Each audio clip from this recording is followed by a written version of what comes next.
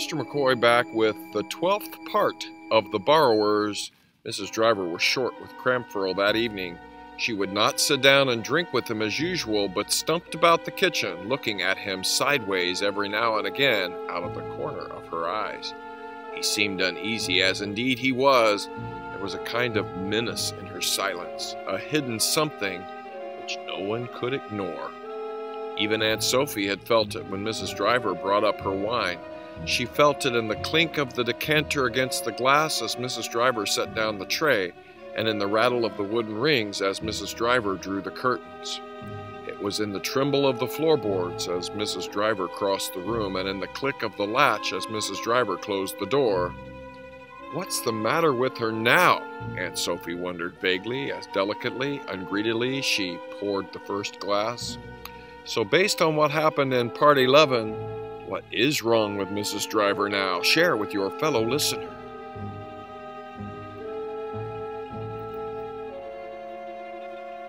The boy had felt it too, from the way Mrs. Driver had stared at him as he sat hunched in the bath, from the way she soaped the sponge and the way she said, and now, she had scrubbed him slowly with a careful, angry steadiness, and all through the bathing time, she did not say a word. When he was in bed, she had gone through all his things, peering into cupboards and opening his drawers. She had pulled his suitcase out from under the wardrobe and found his dear dead mole and his hoard of sugar lumps and her best potato knife. But even then, she had not spoken. She had thrown the mole into the wastepaper basket and had made angry noises with her tongue. She pocketed the potato knife and all the sugar lumps. She had stared at him a moment before she turned the gas low. A strange stare it had been, more puzzled than accusing. Mrs. Driver slept above the scullery. She had her own back stairs. That night she did not undress. She set the alarm clock for midnight and put it where the tick would not disturb her. Outside her door, she unbuttoned her tight shoes and crawled, grunting a little, under the eiderdown. She had barely closed her eyes, in quotation marks, as she had told Crampfurl afterward, when the clock shrilled off, chattering and rattling on its four thin legs on the bare boards of the passageway.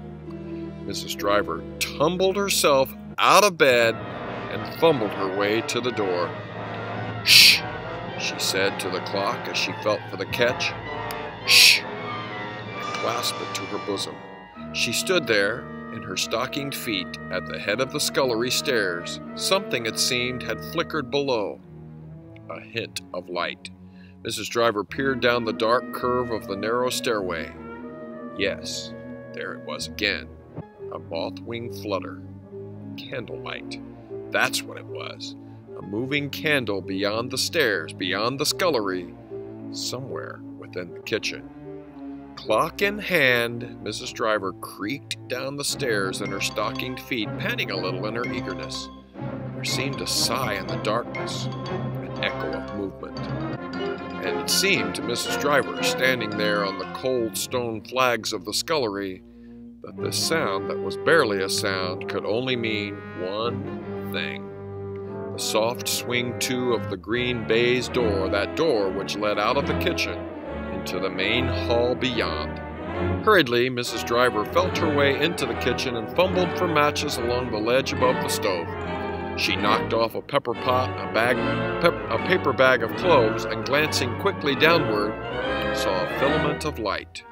She saw it in the second before she struck a match. A thread of light, it looked like, on the floor beside her feet. It ran in an oblong shape, outlining a rough square. Mrs. Driver gasped and lit the gas, and the room leapt up around her. She glanced quickly at the door. There seemed to her startled eye a quiver of movement in it, as though it had just swung to. She ran to it and pushed it open, but the passage beyond was still and dark. No flicker of shadow, nor sound of distant footfall. She let the door fall to again and watched it as it swung back slowly, regretfully, until by its heavy spring, held by its heavy spring. But that was the sound she had heard from the scullery. That sighing whisper, like an indrawn breath. So what's going on now with Mrs. Driver? Share with your fellow listener.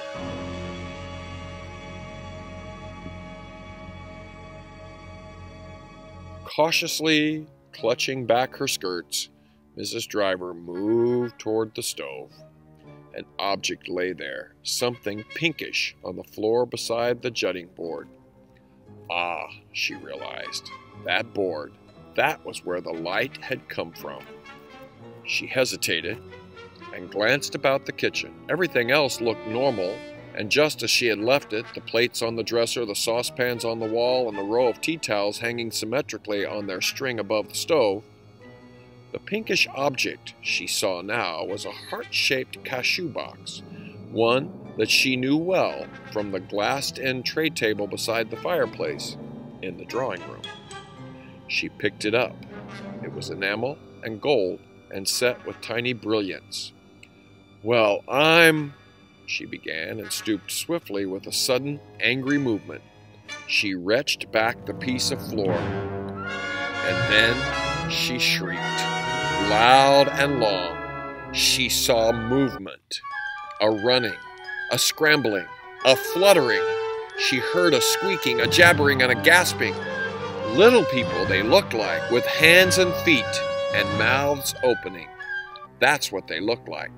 But they couldn't be that, of course, running here, there, and everywhere. Oh, oh, oh, she shrieked and felt behind her for a chair. She clambered onto it, and it wobbled beneath her, and she climbed, still shrieking, from the chair to the table. And there she stood, marooned, crying and gasping and calling out for help until, after hours it seemed, there was a rattling at the scullery door. Crampfurl it was, roused by, at last by the light and the noise. What is it? he called. Let me in. Mrs. Driver would not leave the table. A nest! A nest! she shouted, alive and squeaking. Crampfurl threw his weight against the door and burst open the lock. He staggered, slightly dazed, into the kitchen, his corduroy trousers pulled on over his nightshirt. Where? He cried, his eyes wide beneath his tousled hair. What sort of a nest? Mrs. Driver, sobbing still with fright, pointed at the floor.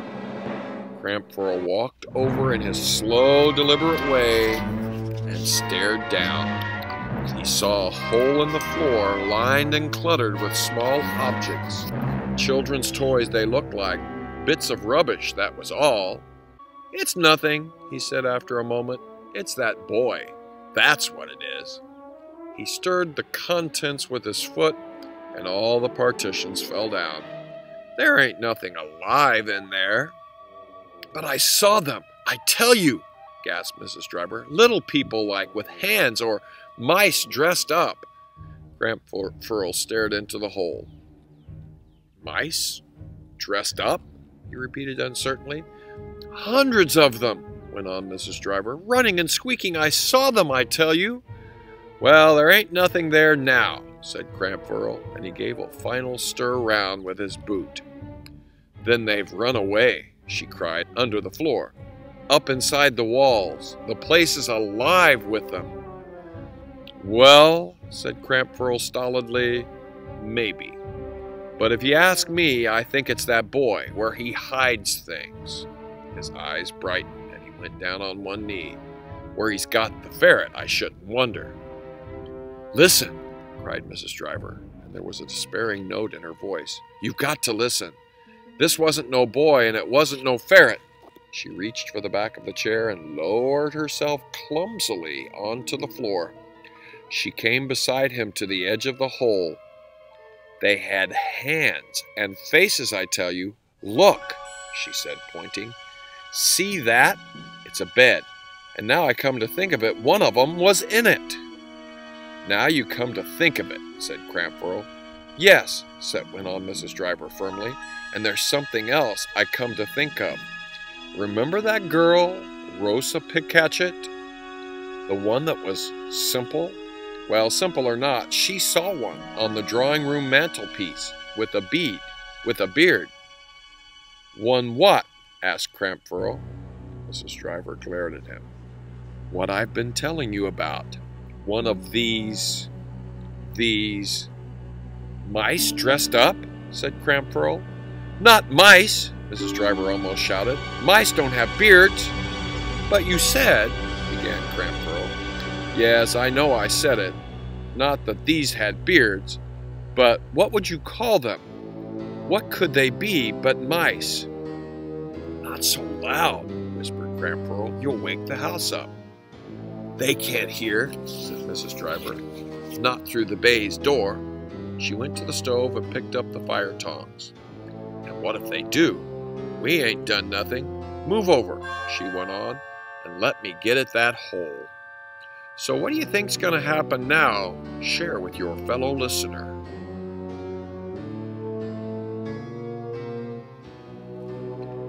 And now, a few more minutes of today's edition of The Borrowers. One by one, Mrs. Driver picked things out, with many shocked gasps, cries of amazement, and did you evers. She made two piles on the floor, one of valuables and one of what she called rubbish. Curious objects dangled from the tongs. Would you believe it? Her best lace handkerchiefs. Look, here's another, and another. And my big mattress needle. I knew I had one, my silver thimble, if you please, and one of hers. And look, oh my, at the wools, the cottons. No wonder you can never find a spool of white cotton if you want one. Potatoes, nuts. Look at this, a pot of caviar. Caviar. No, it's too much. It really is. Dolls' chairs, tables. And look at all this blotting paper. So that's where it goes. Oh my goodness gracious, she cried suddenly, her eyes staring. What's this? Mrs. Driver laid down the tongs and leaned over the hole, tentatively and fearfully as though afraid of being stung. It's a watch. An emerald watch. Her watch. And she's never missed it. Her voice rose. And it's going. Look, you can see by the kitchen clock. 25 past 12. Mrs. Driver sat down suddenly on a hard chair. Her eyes were staring and her face looked white and flabby as though deflated. You know what this means, she said to Crampfurl. No, he said. The police, said Mrs. Driver. That's what it means. A case for the police. The boy lay trembling a little beneath the bedclothes. The screwdriver was under his mattress. He had heard the alarm clock. He had heard Mrs. Driver exclaim on the stairs, and he had run. The candle on the table beside his bed still smelled a little, and the wax must still be warm. He lay there waiting, but they did not come upstairs. After hours, it seemed, he heard the hall clock strike one. All seemed quiet now, and at last he slipped out of bed and crept along the passage to the head of the stairway. There he sat for a little while, shivering a little and gazing downward into the darkened hall.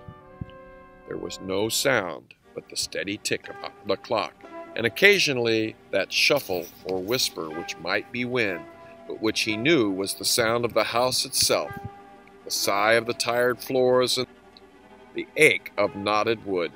So quiet it was that at last he found courage to move and to tiptoe down the staircase and along the kitchen passage. He listened a while outside the baize door, and at length, very gently, he pushed it open. The kitchen was silent and filled with grayish darkness.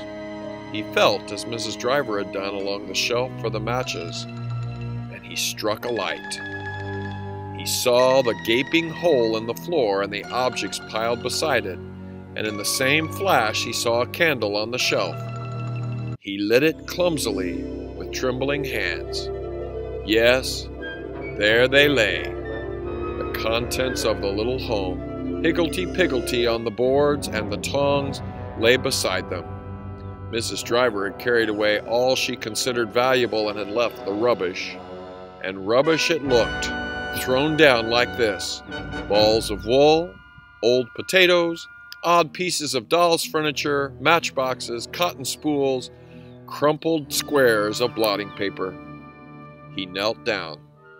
The house itself was a shambles. Partitions falling, earth floors revealed, where Pod had dug down to give greater height to the rooms, matchsticks, an old cogwheel, onion skins, scattered bottle tops. The boy stared, blinking his eyelids and tilting the candle so that the grease ran hot on his hand. We're going to find out what happens next with the borrowers as this saga continues.